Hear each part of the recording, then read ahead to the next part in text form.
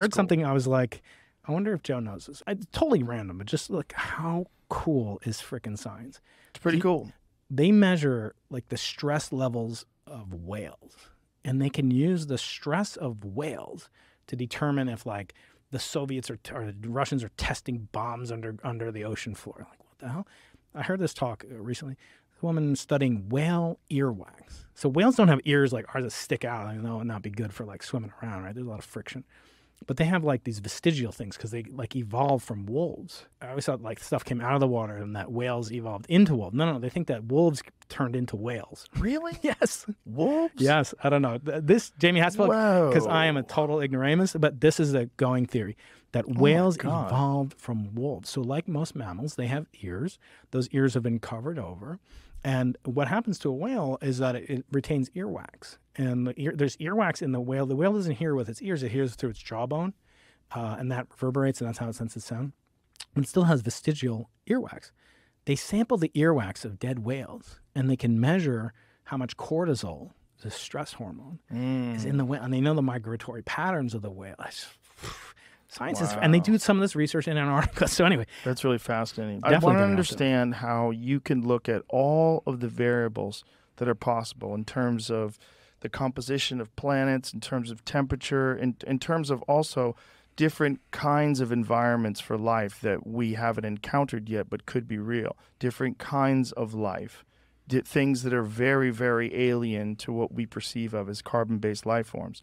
I just don't understand how you're looking at one planet that has a very different environment than Earth, even though Earth has life and it doesn't, and using that one example to sort of dismiss the possibility that in the insanely vast universe, that there couldn't be something that's very similar to the conditions of Earth. Yeah, hundred percent right. You're hundred percent right, and I'm not saying that. I'm not saying there's there's I'm ruling it out. I'm saying there's what's called evidence, prior information, Right. and you should be able to say that how likely it is. Like you should be able to run a simulation. Say for every time there's a planet that's rotten with life, like the Earth, there's some odds in the overlapping communal history of those two planets in a binary planet system that they should share life and then you get a number i'm not saying i know that number but you should be using that as information to sort of say how how what is the fecundity how likely is it for life to get started and once it starts going i believe evolution can take over but you just keep you know kind of kept this notion that because the universe is so vast but I, the reason i brought up antarctica and i've been there twice okay? There's four different animals that i've seen in antarctica okay? And I, there are these giant seagulls called skuas that will frickin' rip your face off if you leave it out you know? They're just nasty birds okay? There's penguins on the continent itself and uh, there's seals and then there's people okay? So this is one seventh of the continents of earth. There's almost no other life on earth. But imagine you could make the same argument.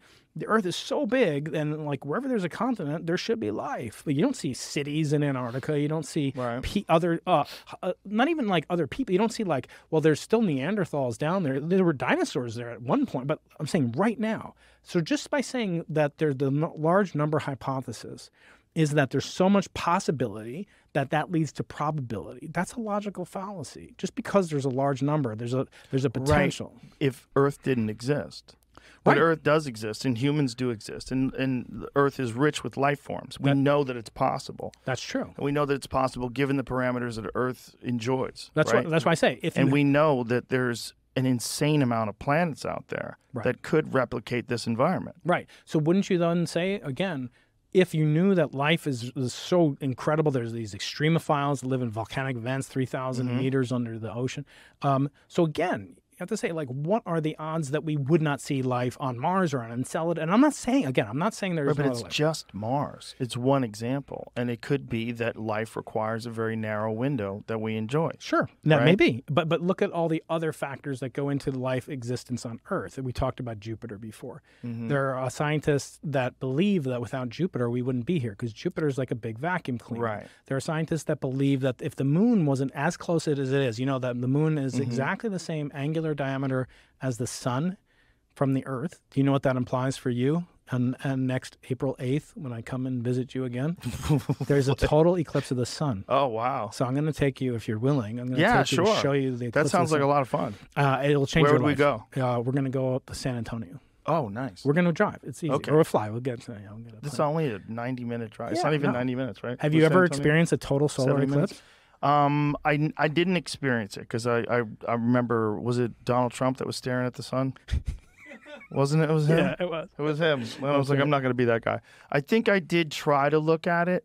Yeah, now that I remember. But it didn't come through here. So a- anyway, No, it was in California. if you were to see it, you would the the experience that you had on Mauna Kea will seem like you know like you're just going down to the to the bar or something. Really? This has changed your life. Okay, I'm in. This will change your life. Damn it, we told everybody we're going to San Antonio on April 8th. It's going to be a real problem. Well, we'll find a secret place. a lot Maybe. of freaks. Yeah, exactly. Freaks are going to show up.